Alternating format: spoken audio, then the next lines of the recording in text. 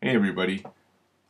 Section 1 of the Doctrine and Covenants, verse 30 reads, And also those to whom these commandments were given might have power to lay the foundation of this church, and to bring it forth out of obscurity and out of darkness, the only true and living church upon the face of the whole earth, with which I, the Lord, am well pleased, speaking unto the church collectively and not individually.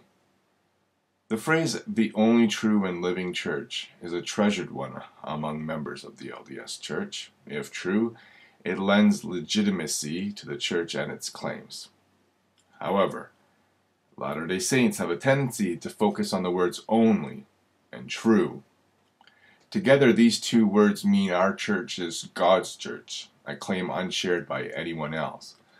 But in all the discussions I've heard, or talks I've listened to, very little attention is given to living. Something that's living breathes, it grows, it adapts, it makes mistakes, it has successes, it moves, it engages, it interacts. Something that's living isn't stagnant, it isn't stationary, it isn't rigid, it isn't static.